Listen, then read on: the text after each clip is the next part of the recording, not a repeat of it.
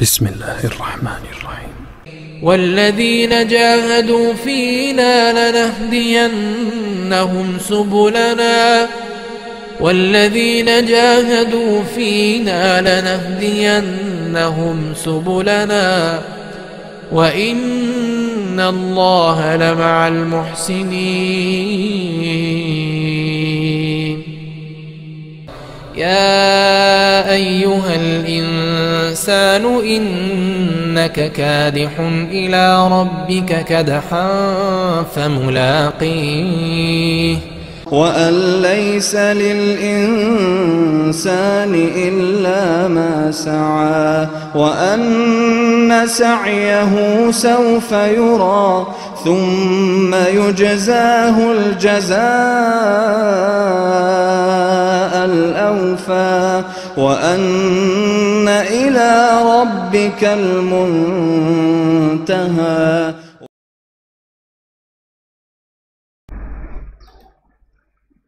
أنا اللي بالأمر المحال اغتوى شفت القمر نطيت لي فوق في الهوا طلته ما طلتوش إيه يهمني؟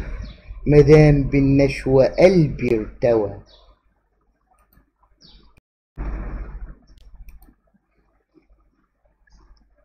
يحكى أنه في زمان سرمدي لا بداية ولا نهاية له. كان السيمرغ ولا شيئا معه. سلطانه عظيم ملكه واسع تقشعر منه الأبدان.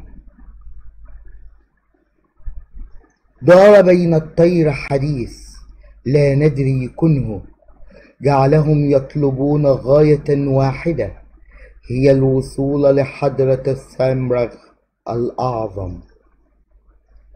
منهم من هلكوا في واديهم قبل أن يغادروا من العجز واليأس والاستسلام. ومنهم من هلكوا من حبهم للحبوب والحياة المترفة. ومنهم من هلك من وهج الشمس أو من إرهاق الطير وظلوا يطيرون لسنوات وسنوات ويرتفعون وينخفضون في السماء.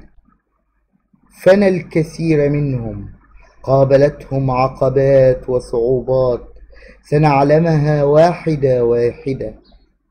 هذه الصعوبات جعلتهم يكتشفون الكثير عن أنفسهم. ومعادن تكونت منها أنفسهم. سنعرف ذلك فيما بعد. إلا أن ثلاثون طيرا قد وصلوا إلى مكان مزدحم بالكواكب المتلألئة والشموس الزاهرة والأضواء الساطعة. وقابلوا طيرا كبيرا وضخما لا تحتويه الأعين. هو حاجب السامرغ. واسمه مروان. وأخيرا لم يتقدم هناك إلا نفر قليل. من مئات الألوف وصل الثلاثون وقد عدموا الأجنحة والريش وألم بهم الوهن والتعب. وصلوا محطمي القلوب فاقدي الأرواح سقيمي الأجساد قروا الحضرة دون وصف أو صفة. وجد الجميع عددا وفيرا من الشموس المعبرة ورأوا عددا من الأقمار والنجوم الزاهرة فوقعوا جميعا في حيرة قتلت بعضهم وقالوا لقد قطعنا الأمل من أنفسنا ولم نقطع الأمل من الهدف المنشود وإن كانت مئات العوالم مجرد ذرة من تراب هناك هناك خوف إن وجدناه أصابنا العدم أيها القوم عودوا إلى رشدكم. عودوا من حيث أقبلتم. من أجل أي شيء جئتم. إنها حضرة مستحيلة حضرة مستحيلة. أنتم جهلة وحفنة من العجزة. إنه سيمرغ له السلطان المطلق الدائم. ونآت الألوف من العوالم والأكوان مليئة بالجند والخدم والحشم. ما أنتم إلا أقل منا النملة على باب هذا السلطان الأعظم.